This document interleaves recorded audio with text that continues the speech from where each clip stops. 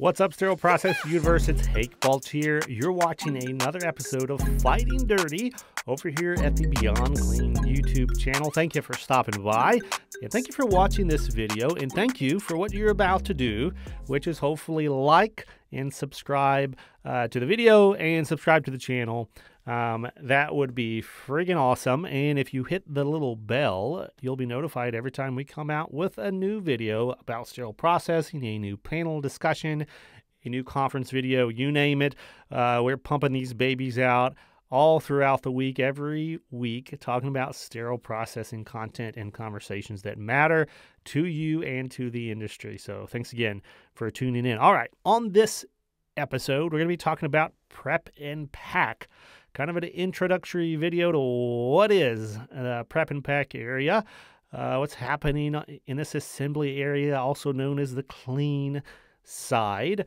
Uh, so if you watch the first video about decontamination, this is kind of that next stage, right? So all the instruments have been decontaminated, they've been cleaned through manual and mechanical cleaning, and now the surgical instruments are ready for the next stage, right? So they're coming through the washers. We're taking them out of the washers. Maybe they're coming through the pass-through window.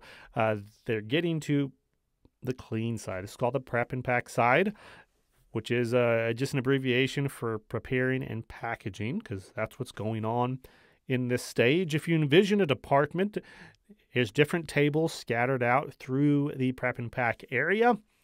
And at each one of these tables is a sterile processing technician whose responsibility it is at that assignment area to assemble, inspect, and package instruments for the next stage, which is the sterilization stage. So they're going to be getting these instruments off of the washer racks. They're going to be uh, through either computer systems or maybe checklists. They're going to say, okay, um, which of these trays are needed for tomorrow's surgeries or maybe later today's surgery. So they're going to prioritize at this stage and say, okay, we need that open heart tray. They're going to pull the open heart tray. It's going to go back with them to their table. And then they start the prep and pack.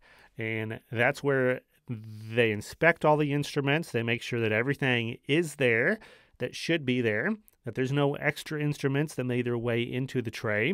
They're going to make sure that all the instruments are clean, that what was supposed to happen in the decontamination phase actually happened.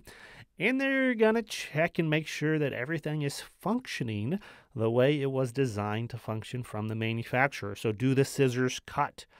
Are they cutting smoothly? Do the clamps clamp? If they're supposed to lock, do they lock? Do the retractors retract? Do they open and do they stay open? Uh, do the spring spring, right? So everything in this assembly stage has got to be tested for functionality because uh, a clean, sterile surgical instrument does no good to a surgeon if it actually doesn't function the way that it should function. And in fact, a broken instrument can cause a tremendous amount of harm and risk in the surgical procedure. So we want to make sure that everything is there, that nothing extra is there, that what is there is clean, and that what's there is in working condition. Once all that is confirmed, and we use things called checklists or count sheets or pick lists um, at this stage to make sure that everything in this tray is uh, correct at the right variations of there.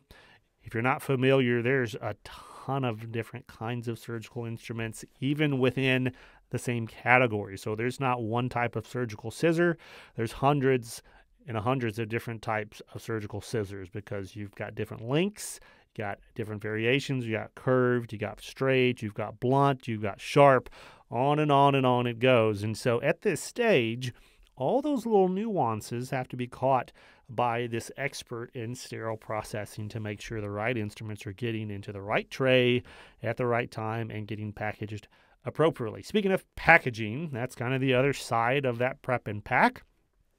You also got to determine how is this instrument tray or set supposed to be packaged, and depending on what it is, sometimes it goes into some disposable packing uh, that may be like a peel pack if they're smaller instruments, one or two instruments will go in something called a peel pack. It's like a little plastic uh, type of bag. Um, larger instruments go in either disposable wrap or larger rigid containers, kind of hard little containers, looks like a little box basically. Um, and then they'll be routed into different areas depending on how they're going to be sterilized. And that packaging stage has a lot of nuances. I won't go into all the details, but you do got to know what you're doing, know what type of tray and where it's going in the workflow to make sure that you pick the appropriate packaging. So, a lot of stuff going on in, in prep and pack. It's a very active space in the department. There's a lot of complexity, there's a lot of attention to detail. Uh, but it's a lot of fun because you encounter different trays all throughout the evening, all throughout the night. And if you're a um, if you're at a large facility with a lot of complex procedures, you're going to see a lot of different types of instruments in trays. All right, so that's your intro into prep and pack. Um, we're going to be talking about the other areas of the sterile process department in future videos, so make sure and hang with us for that. But for now, we're going to leave you and as we say here at Beyond Clean, we want you all every single day to keep fighting dirty. Until next time. Peace. We got it going on, running five years strong. We're fighting so dirty, yet keeping it clean. Where do you go when you're a sterile processing pro to have conversations that no one else is having? How do you access expert subject matter? Well, look no further. Got a digital gathering. We're so clean, yeah, like beyond clean for all the clean freaks out there listening. We're having discussions and talking info, getting bigger with over a million podcast downloads. Splish splash,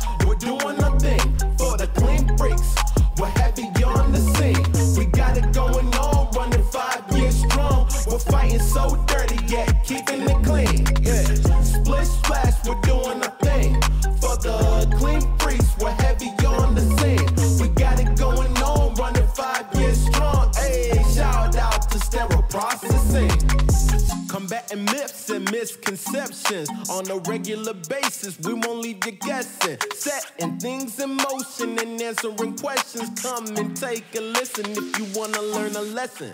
Decontaminating and sterilizing. So much work goes into it, no one realizes. But we take it serious when we're on the scene. Keeping it beyond clean before every surgery.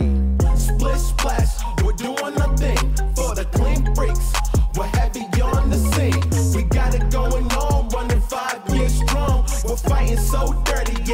keeping it clean. Yeah. Split splash, we're doing a thing.